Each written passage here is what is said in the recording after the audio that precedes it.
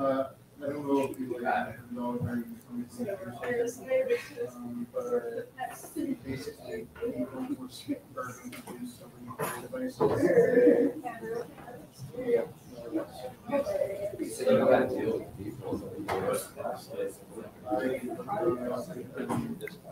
This.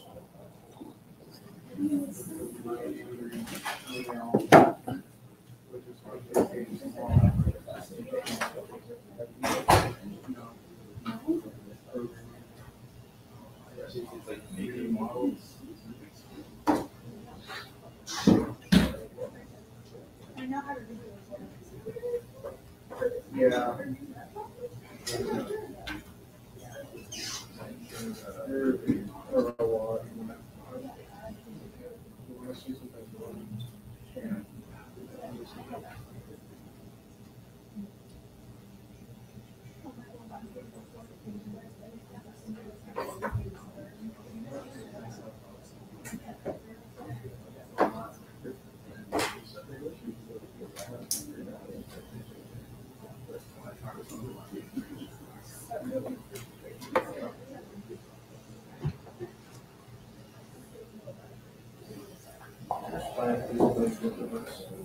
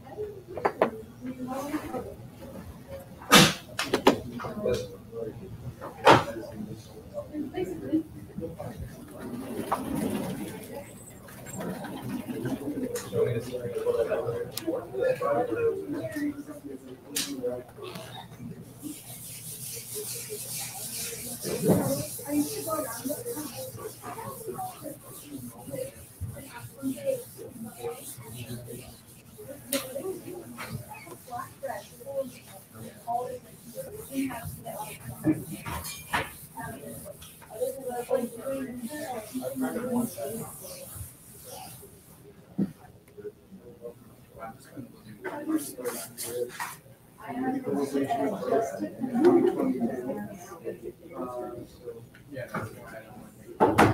Designed to reduce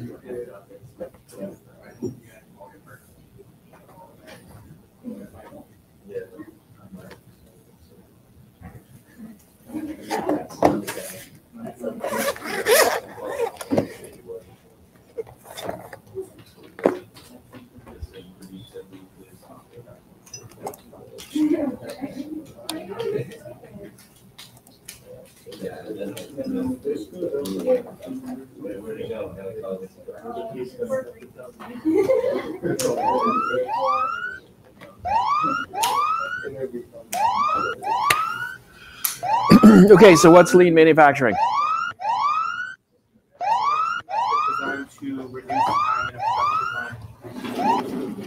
So he says it's a production method. Method designed to to. Reduce time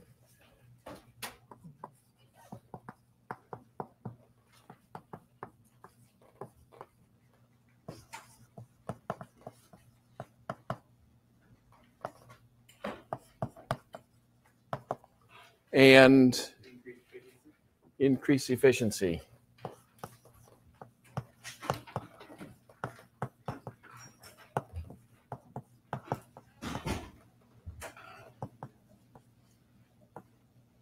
I don't know how to spell efficiency, but that's close enough. You guys know what I mean, right? Is that what lean manufacturing is?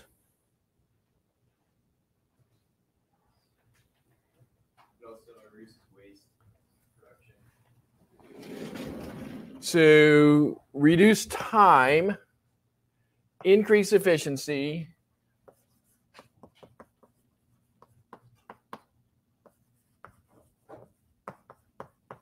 Reduce waste.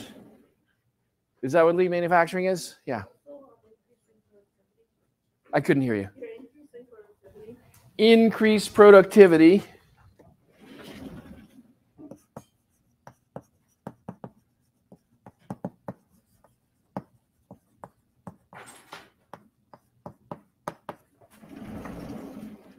Yeah.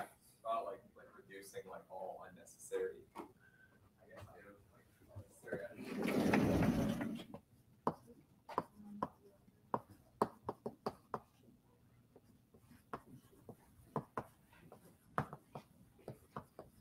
Can we call waste unnecessary stuff? Okay. Yeah.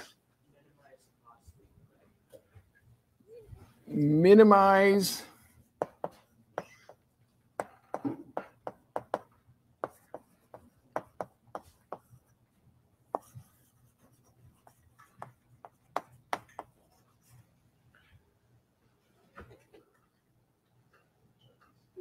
Is this what lean manufacturing is?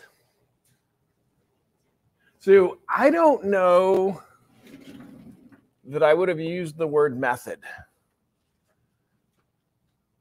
But I think I know what you mean when you're using the word method.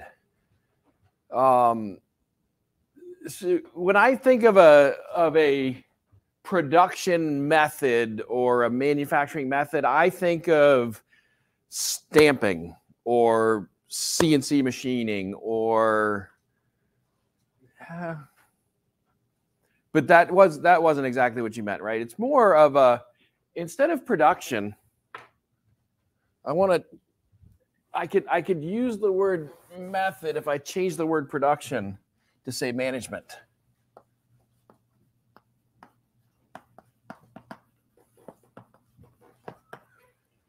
Because we're we're managing the production and so if we call it a management method or a management system, I think it, it flows better off the tongue. So lean manufacturing, who, who had heard of lean manufacturing before this class? Who's taken a class in lean manufacturing here at WPI before this class? No? Your hand was sort of up. Uh, you're industrial engineer. You will take a class in lean manufacturing if you haven't yet, if you're in industrial engineering. I think there's five industrial engineering courses that either have lean manufacturing in the title of the course or in the course description. Um, so it's a it's a management method designed to actually reduce wasted time if you could do something faster, then the extra time you're doing it is wasted time, right? Right? Does that make sense? So we are trying to reduce time, but we're trying to reduce the wasted time and we're trying to minimize the value added time, right? To the minimum thing. Because any time we spend doing something that takes longer than it has to is wasted time. So we want to reduce time the reason we want to reduce time is because we're trying to get a lower cost. Now, we introduced manufacturing economics last week. What did we say the purpose of? Well, when we introduced manufacturing, we said manufacturing was to make stuff with the intent to sell it, right? Last week, we talked about the fact that most of the stuff that gets made with the intent to sell is made by businesses or companies. And those companies, in order to continue to exist, they need to have a profit. And we defined profit last week. What was it again? Anybody remember how we defined profit last week? Yeah. So value minus cost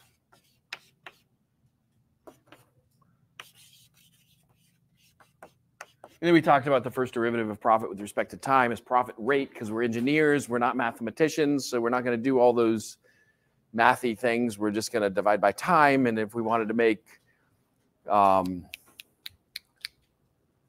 better decisions, we might make our time units smaller. right? We might look at smaller time units there, but uh, but profit is value minus cost. And so pretty much everybody that talks about lean manufacturing focuses on cost.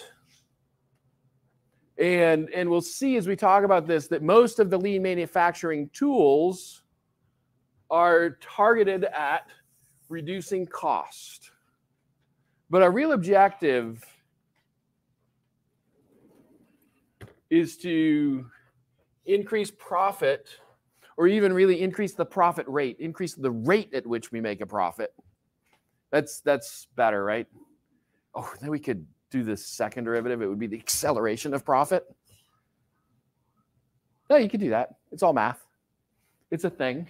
So we want to increase the rate at which we make a profit. So if we reduce cost and value also goes down, that doesn't work then, right?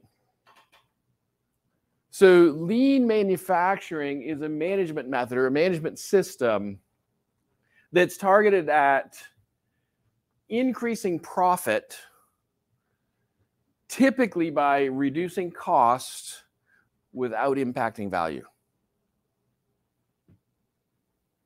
All right, what else? All right, so that's we, we've said what is lean manufacturing. But I gave you what three, four minutes to Google it and learn everything you could about it. What did we learn about lean manufacturing besides what it is? Who learned something about lean manufacturing besides what it is? I said, learn everything you can about it. Yeah. There are a bunch of different types of wastes that we can minimize to minimize cost. There are many types of waste. Found this fun infographic that has eight of them, if you want me to read them out. Yeah, go for it. So unnecessary transportation, Transportation. We talked about that last week. Yep.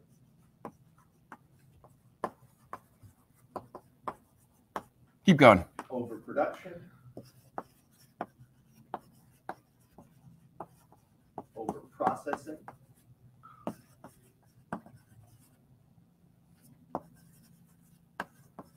Idle time, Not Billy. Idle time.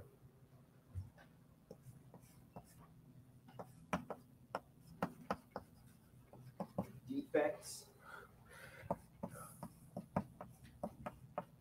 Um, this one to be pretty similar to unnecessary transportation, but it also says unnecessary motion.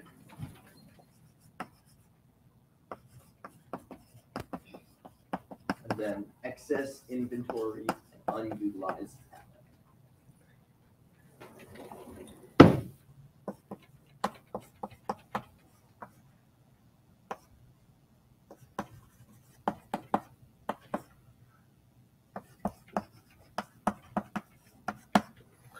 So, how much inventory is the correct amount of inventory? It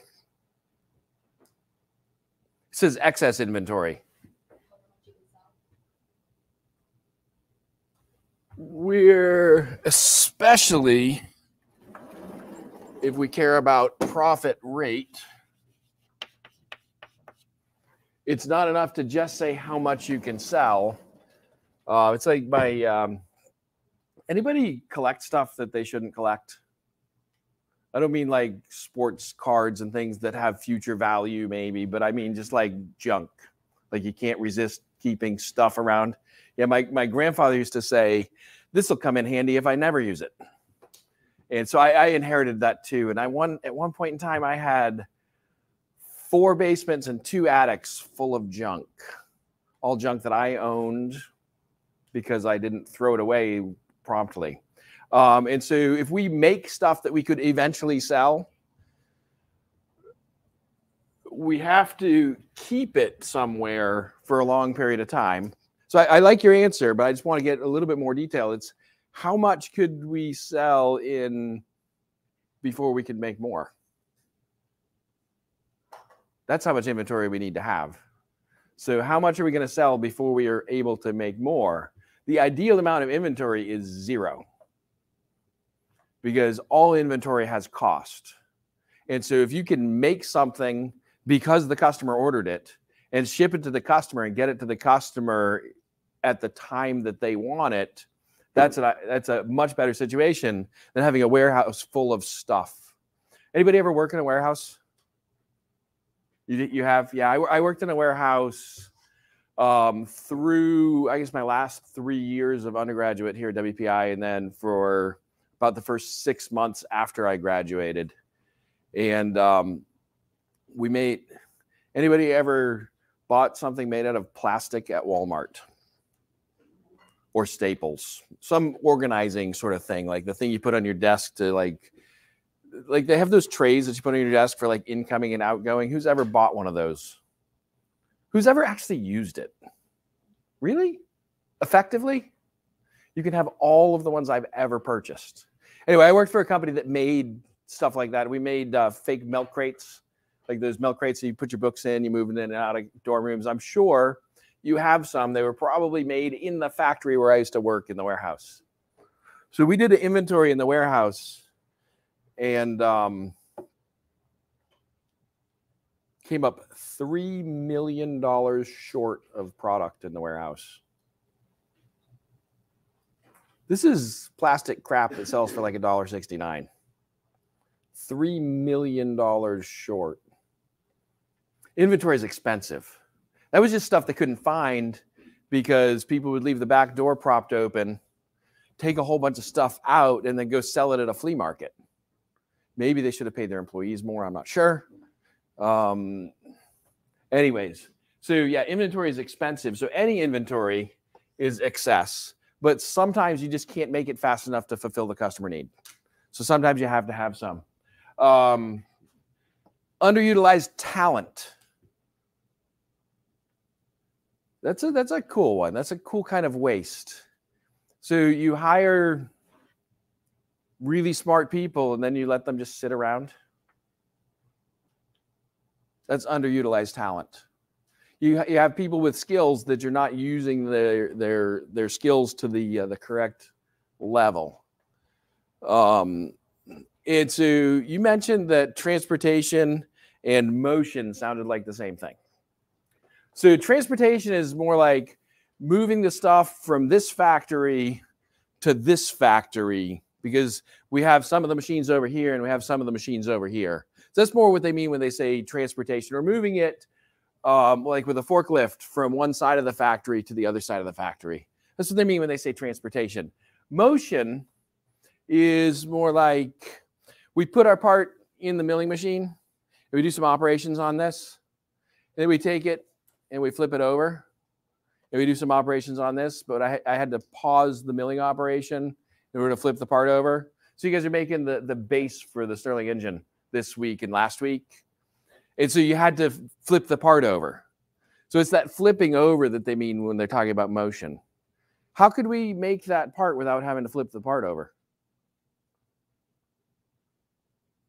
right? Because it's unnecessary motion. Well, is it some of it's necessary, right? You need to access both sides. So unnecessary motion. But could we make that part without having to flip the part over? Yeah. Like if we had like a, a rotating table. So you could have it on a table that flips over itself, but you still have to hold on to it. What else could we do if we wanted to to make that part without having to flip it over. We could redesign it so all the features can be made from one side. Right? That's something else that we could do also in addition. That the design is kind of on the design engineer, but at the same time, the design engineer should be thinking about how it's going to be made if they want it to be able to be um, not wicked expensive. Um, all right, so overproduction, overprocessing, making features the customer doesn't care about, spending time to get a surface finish on the part that the customer doesn't care about. Um, yeah, overprocessing, transportation overprocessing, idle time. You got that right standing around not doing anything. like like the like the three minutes after I was all ready to start lecture today, but I was waiting for it to be the time to start lecture. If we were trying to optimize, I actually would have gotten ready three minutes slower. Or started getting ready three minutes later, so I could have been doing something else instead. But that um, so that idle time. But also, what what other idle time do you see in the processes when you're using the CNC machines? What other idle time happens? That's not just because you're standing around waiting for it to be your turn. Tool changes. So during a tool change, you're not adding value to the part. Now you it's a required waste, right? So there's there's really two different kinds of waste at the highest level. There's required stuff you have to do that the customer doesn't care about and not required. Right? So there's you have to change the tool in order to use the other tool. But what if you could make all the features with one tool? Then you don't have to wait for the tool change. However, that one tool might have to run significantly slower. So you may not get a benefit. So I think if we took a um, an eighth inch end mill that had a long enough depth of cut, uh, so AP1 there, if it had a long enough AP1, we could make that entire base bottom part with an eighth inch end mill. But oh, when I uh, I bought my first machine shop, we uh, the only piece of furniture I I put in the office was a bed. I mean, there was other furniture that just sort of came with the office. Um, but uh, even though the office was a mile from my house and it took 15 minutes to get back and forth, those 15 minutes were important when you had the machines running all night long and you were the only one taking care of them. I used to set an alarm clock to wake me up when I knew that the program was going to be over. Never once did I need the alarm clock. The spindle would stop spinning and I would wake up, go out in the shop, flip the part over, press the start button, go back to sleep for another two hours. And I did that for a couple years. Um, what were we talking about? Idle time. Oh yeah, so tool changes. So and that was because that was as fast as we could run that tool. We would have run it faster if we could have. But uh, so the reason we don't use that little tiny eighth inch end mill is because one, it can only step over an eighth of an inch at a time for each pass, and it can only cut down an eighth of an inch at a time for every pass. Otherwise, it'd break because the cutting forces would be too high, um, and it can't move very fast. So the bigger the tool you have, the bigger the tool is, the faster you can go because it's going to be stronger, right? We talked about that and we talked about forces and strength. So you got to factor in is that tool change necessary? But what can we do? Make the tool change faster. So the the mini mills you're using, they uh, when it calls up a tool change, the the actually the the table moves out of the way. The spindle moves up, the table moves out of the way. Spindle comes back down, the tool change carousel comes over, takes that tool out, then it rotates to the tool that it wants. And it comes back down, it pulls that over, and then it moves the table back in place. So they make, so that's called an umbrella tool changer. So they make a thing called a side mount tool changer, where it's sort of got a similar carousel, but it's mounted sideways instead of down. Does a couple things for you. It gets the tools out of the table area so that you don't have all these tools hanging down that your fixture might run into when it goes to that direction. But the other thing it does is it allows it to rotate to where the next tool is before it calls a tool change. So they, they look ahead in the code and it rotates to where the next tool is before it calls a tool change. And it's got this arm that grabs the tool that's in the spindle and grabs the tool that's going in the spindle and it switches places and it puts them away. And it does what we call random warehousing of the tools.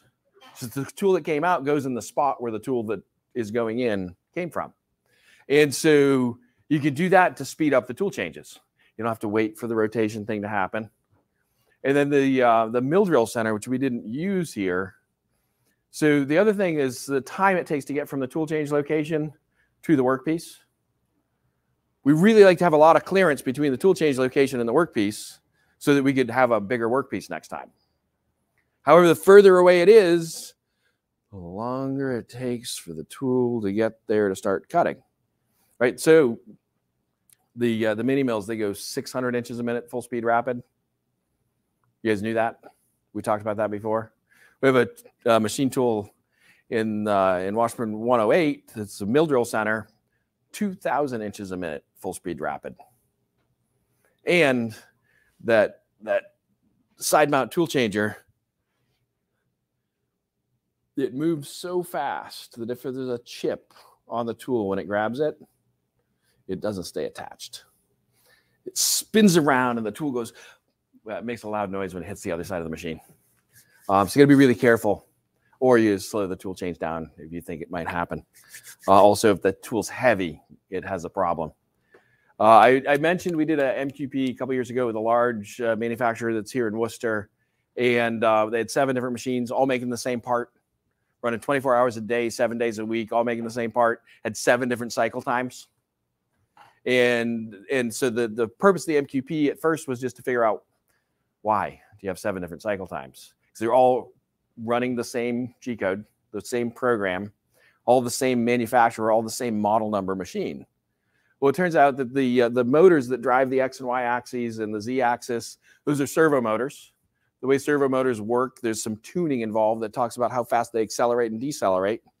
So all machines had different acceleration times. All of the not all the fixturing was exactly the same, so some of them had to go further to get to the part. That's why they had such a big reach in that. Um, anyway, uh, defects. You guys understand why defects are wasteful, right? Okay, so these are some kinds of waste that we want to eliminate in um, lean manufacturing. Does any of that add value? No. So all of this is about cost, right?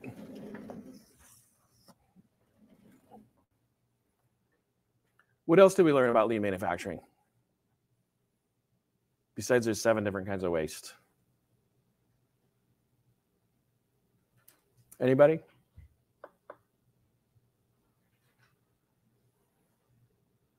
because there's five classes about lean manufacturing at WPI. Yeah. Means that you end up running in margins a little bit tighter. Like your warehouse isn't going to have as much stuff, and then if something bad happens, you might not have any product that you can actually sell.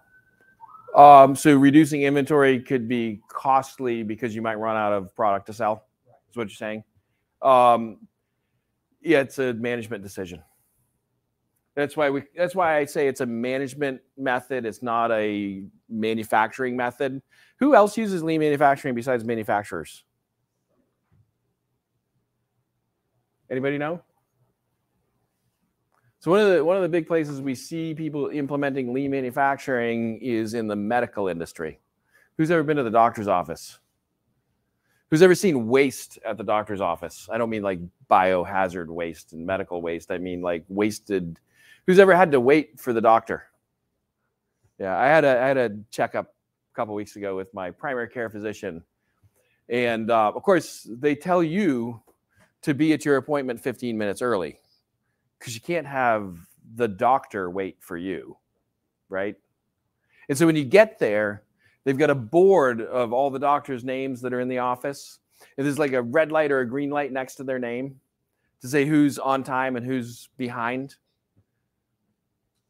But then if you look at the caption, up to 20 minutes late is considered to be on time for the doctor. right? And so so and so that's that's expensive. Healthcare is especially expensive in the United States. We all we all have experienced that, heard about it on the news, everything. And so one of the things that they're trying to do is reduce costs in healthcare. So they're applying lean manufacturing techniques, especially in hospitals and large uh, physicians' offices, things like that. But is it really because they want to reduce cost?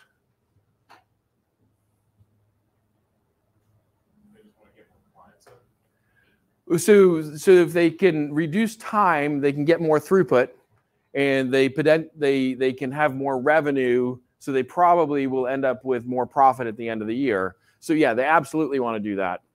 That's why, like when you go to the dentist, there's another place there'll be like three people in a dental chair and one dentist going from room to room because you're in different stages of getting ready for the dentist to show up. Right? So they're trying to get throughput through. But what else? What's the um what are the major causes of death in the United States?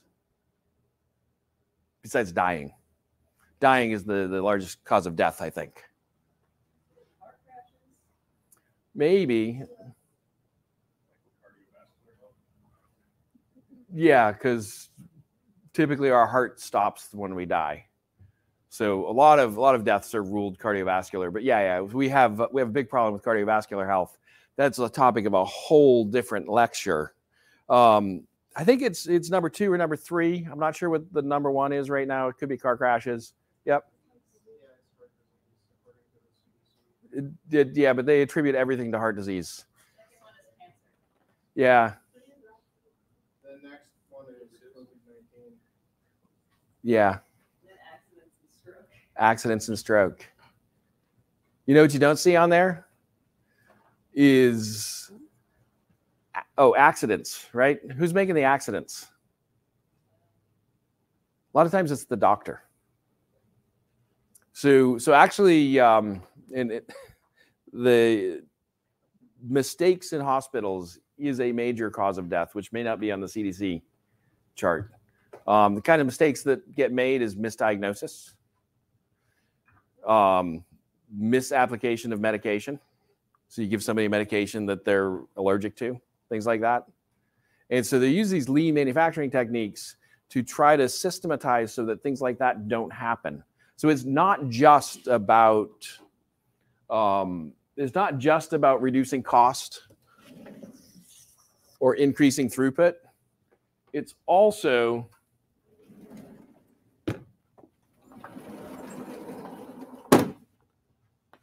protecting value to make sure you don't lose the value. Because the real value of going to the doctor is that you don't die. Right? That's that's our purpose for going to the doctor. Maybe maybe you don't hurt is a secondary value of going to the doctor. So don't die, don't hurt. Um, I think that's pretty much why we go to the doctor. Uh, so, all right. But lean manufacturing, so those are the goals of lean manufacturing. One of the things we try to do is we try to reduce waste. How do we reduce waste? Anybody know, anybody see where the, the term lean manufacturing came from when they Googled it? Was it Toyota? So, yeah. Uh, it, at least Wikipedia says that, um, in post-war nineteen fifties and nineteen sixties. Post-war 1950s, 1960s, so World War II. Automobile Japanese automobile company Toyota. Uh, first formulated. First formulated uh, the, the what waste of superfluous Waste of superfluous- of big words. Somebody in Wikipedia is trying to show off with their with their use of big words. So um, so what we call lean manufacturing came to the United States by a couple of guys that went to study companies like Toyota. And they watched what the Toyota people were doing, and Toyota had what they called the Toyota production system. And uh, and these guys said, "This is so lean, as in like not fat, right? The opposite of fat is what we're talking about, lean." is these guys they uh, a couple of consultants they they wrote a book about the Toyota production system and they coined the phrase lean manufacturing. So we what we call lean manufacturing is based on this Toyota production system. The idea of the Toyota production system was to eliminate waste from the process so that they could um, make more profit or actually just not go out of business at the beginning, right? Not be bankrupt. So when uh, when Dr. Toyota was interviewed by a reporter, and the reporter asked, "Where did you come up with the idea for the Toyota production system?" So is everything? Oh, and you know, all like auto manufacturers, all companies in the U.S. that we all pay lip service to the idea of lean manufacturing. There, there's a pretty common job title of lean implementer or lean instigator and any any company over 20 million dollars in revenue has one and uh, all the all the car makers are doing it so when they asked dr toyota where did you come up with the idea for the Toyota production system? He said, I read Henry Ford's book. So our companies copy Toyota, who copied Ford. He actually studied, he went to Ford factories and studied how they did production, how they did things there. Now, I'm sure he had, he was a pretty smart guy too. So we had this Toyota production system. one of the uh, one of the major tenants is um, is this idea of just-in-time manufacturing. So this idea of reducing inventory. Inventory is one of the most expensive kinds of waste that we see in in uh, manufacturing. Um, and so for the for the reason that I talked about, the warehouse I used to work in, three million dollars short of inventory, so it, it, it gets lost, it gets damaged, it costs money just to keep it, even when you're not losing it or damaging it. So uh, so one of the things they they do is if you can coordinate the operations very well, you could have your uh, your Toyota Camry chassis going down the moving assembly line at the Toyota factory. And at the moment when the chassis gets to the spot where the seat goes in, on another conveyor, the seat that goes in that car arrives. And so they arrive at the spot at the right time. So they didn't have to have a big stack of seats next to the place where they install the seats because the seats arrive just as they need to be installed. So, or the door, or the um, whatever it is, the component that needs to be installed. So that that requires a lot of coordination. What um, what I've uh, in all the automakers try to do this. We were there. I was at the um, I was at the airport. I think it was Leominster, Fitchburg, and um, every 45 minutes or so, there was a Learjet landing, pickup truck backing up to it, people loading stuff from the jet, pickup, drive away, Learjet takes off. And um, ask him, what's going on? So it was a factory in uh, in the area up there that was making components for GM for a seatbelt to go in some car that was in production. I don't remember what the car was. And it took them about 45 minutes to make enough parts to fill up a Learjet. And they were contractually obligated to deliver them. There was no time to put them in a truck and drive them to Detroit or wherever the factory was. So just in time manufacturing can be expensive. Um, and what happens if, if the car gets there and there's no seatbelt? What do they do? um, well, so when the car gets to the spot where the seatbelt goes in, there's two things you can do. You can skip the seatbelt, and you can have the the car get all fully assembled, but without that component. And if you do that, you make a little note, right? You take a sharpie or write on the windshield. This car has no seatbelts or something like that, right? So they go out there, and uh, and then all those cars go to a special parking lot by the factory and then when the seatbelts finally do show up, a mechanic goes out to that special parking lot and goes and installs the seatbelts. That sounds expensive. Uh, and a lot of a lot of car manufacturers will do it that way. They just keep because you don't. If what happens if you stopped production and waited for the seatbelt? Yeah. All the other processes stop too, right? It's not just the seatbelt guy that can't work. It's everybody in the whole factory that can't work. And so one of the other things that's made Toyota and the TPS really famous is the, the fact that all over the plant, there's little pull cords that any employee can pull. And what happens when any employee pulls any of those pull cords is the production line stops. And so when you get to like you go to put it in, maybe it's not even that you don't have the seatbelt. Maybe the the nut or the bolts are cross threaded. So the, there's a problem with the hole, and you can't put the nut in to fasten the seatbelt in. What you do is you pull the they call it an andon cord. You pull the andon cord, the whole factory stops, and there's like a flashing light that says, "Hey, this guy over here is the one that stopped everything." Flashing light, right? what do you think happens at that moment? Everybody pays attention to fixing your problem. And so they come over, like, what's the problem? Oh, well, I can't put the bolt in the hole because the threads are messed up. So, well, the, then you immediately repair this one by getting a tap and fixing the threads. But also, you go immediately to the place where the threads were made and you find out why they're messed up and you fix that problem immediately so you don't make a whole parking lot full of bad cars. Occasionally, if it's going to be too hard to fix the problem, they'll let a car go through just like all the other manufacturers do. But they don't have a big parking lot. They have five parking spaces. And if there's five cars that are not correct, they stop the whole factory till they fix the problem. And so this is why Toyota has a reputation for having high quality vehicles, right? We, we've all heard that.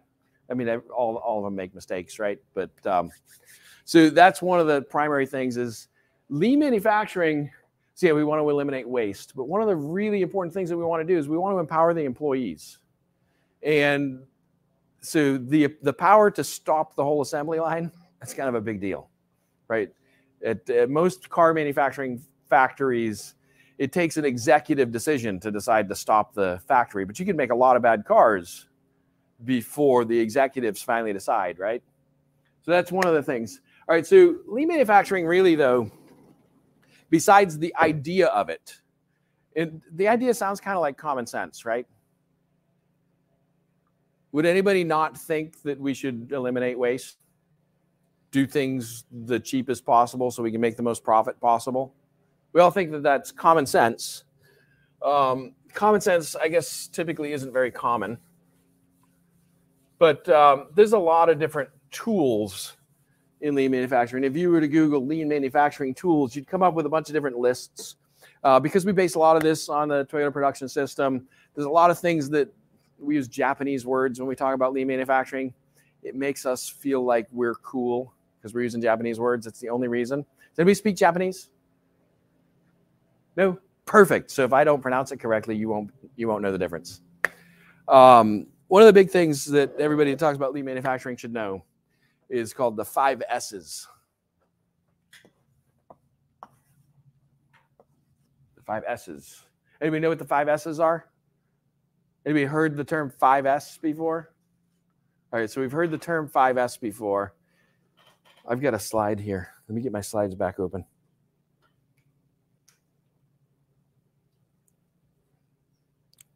I've got a slide that shows the five S's. Oops, not that one. This one.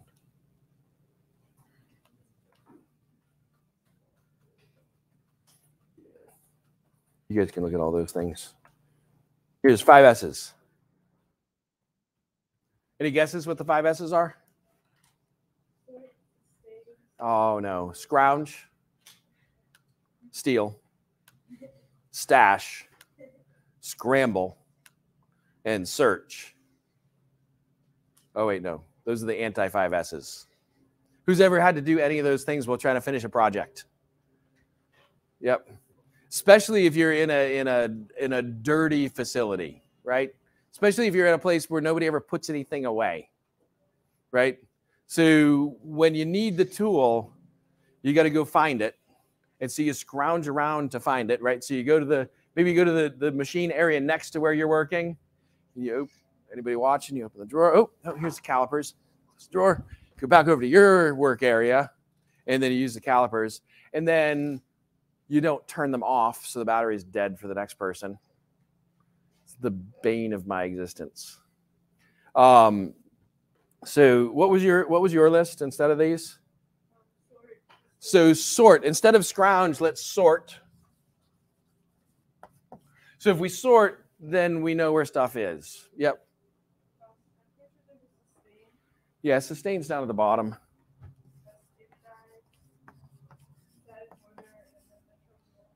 Standardize.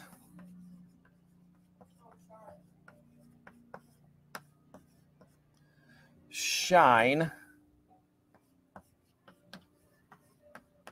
One, two, three, four. That's only four S's. set in order? Yeah. So sort, find it.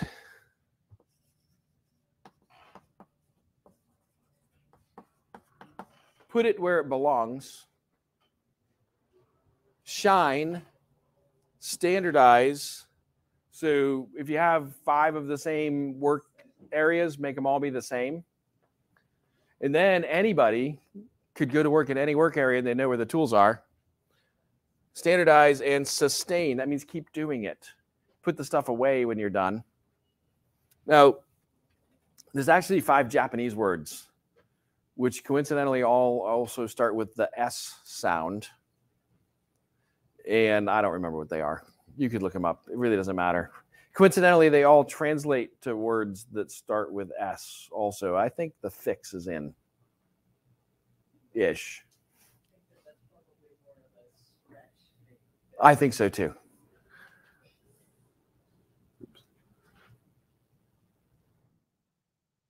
Uh, oh, remanufacturing, understand value and waste, use the tools to help is my haiku for today. All right, so there's a bunch of there's there's tons of other lean manufacturing tools. Um, one of the most important things is put the tool put the tools that you need to use to do a job near where you're going to do the job. Think about the path that stuff. Oh, and if you need a tape measure at two locations, buy two tape measures. Put one at each location so you don't have to go back and forth. I could.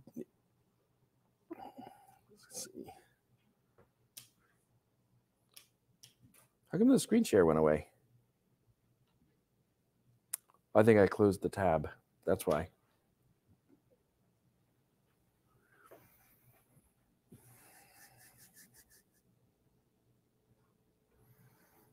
So for um, for homework today, for the uh, we'll do a, a class participation quiz for today, and it'll be to look up look up and describe five additional lean manufacturing tools that people use.